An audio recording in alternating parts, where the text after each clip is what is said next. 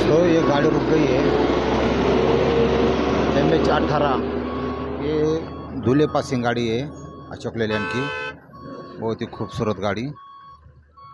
Driver भाई साहब पीछे लेते हुए। जय माँ बिजासनी, जय माँ सप्तर श्रृंगी ऐसा लिखा है। और सबसे ऊपर माँ लिखा है। देख सकते हैं आप। बिल्कुल चढ़ान से पहली चढ़ान तक तरफ़ आ रही है गाड़ी। शायद यहीं से उठाएँगे वो। जब तक वो स्पेशल लैंड आते तब तक गाड़ी उठाने में कोई मतलब नहीं। आरपीएम पकड़ लिया तो पकड़ रही पकड़ रही है। अभी आरपीएम पकड़ लिया तो उनको कोई प्रॉब्लम नहीं आना चाहिए, देखेंगे क्या होता है। खूबसूरती के साथ निकलती हुई गाड़ी। देखो क्या होता है। आरपीएम अभी डाउन हो गया, फिर गाड़ी फिर से रुक गई।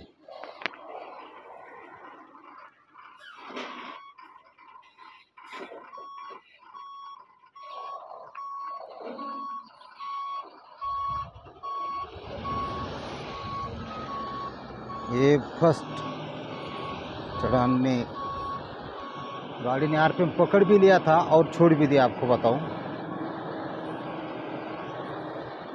फुल एक्सलेटर करके आरपी आरपीएम जब पकड़ा ना तब ये गाड़ी निकल जाएँगी।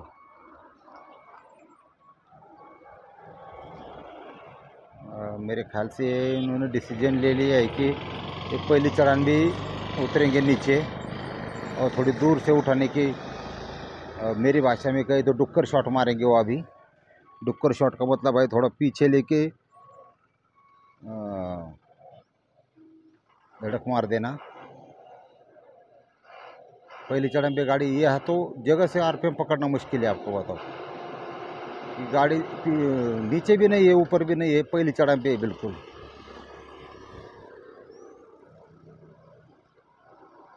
ये आरपीएम अभी पकड़ने धीरे धीरे निकले लेलैंड की मशीन है।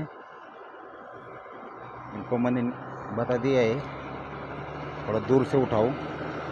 तो इस ट्रैक से गाड़ी आरपीएम अभी बढ़ गया तो जानी चाहिए। और सब कट नहीं होना चाहिए। ड्राइवर भाई साहब, अच्छी तरह से है करते हुए, लेकिन गाड़ी चढ़नी मुश्किल है, आपको आरपीएम कम होता हुआ। स्पीड से। स्पीड से उनकी थोड़ो नसीहत देनी ज़रूरी है।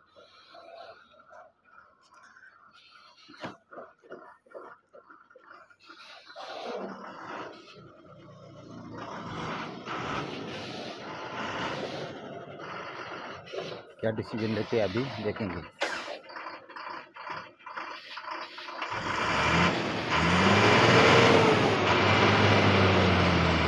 जगह से उठने की कोशिश कर रहे हैं। भैया, पीछे लेनी पड़ेंगे और। अब पत्थर इधर। ये आरपीएम छोड़ कम होता है आरपीएम। सैंतीस अठारह है। और यंग है ड्राइवर भाई साहब। लेकिन गाड़ी का कुछ तो भी प्रॉब्लम है, आपको बताऊँ। क्योंकि पकड़ा हुआ आरपीएम गाड़ी छोड़ कैसे सकती है? ऐसी बात है। फुल आरपीएम में आई तब भी कम होता है आरपीएम, ऐसी बात है। तो गाड़ी अभी फिर नीचे जाते हुए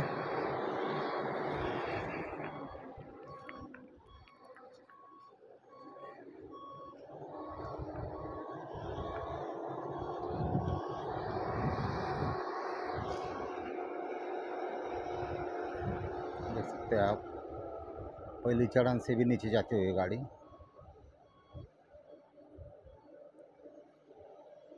देखते देखते बहुत ट्रबल में आ गए।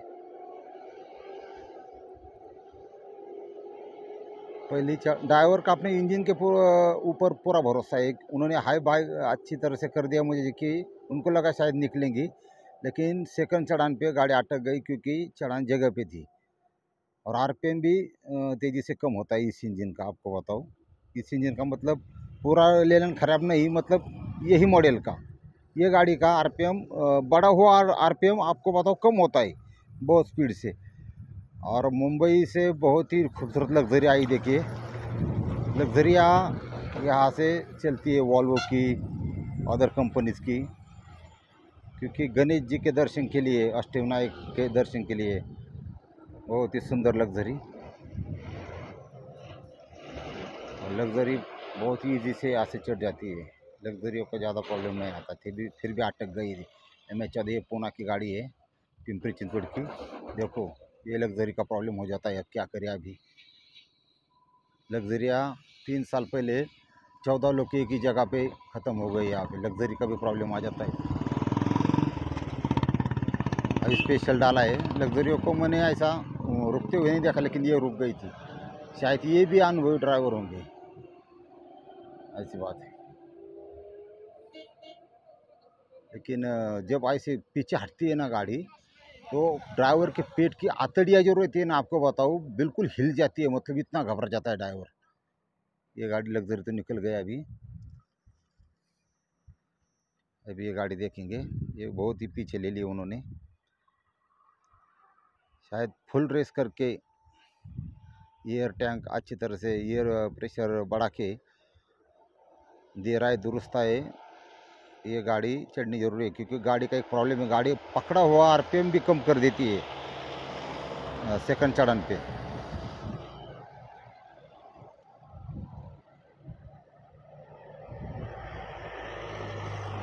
उनके दो प्रयास विफल हो गए आपको बताओ क्योंकि एक बार पीछे ली थी थोड़ी और दूसरी बार वो जगह से उठने की कोशिश कर रहे थे।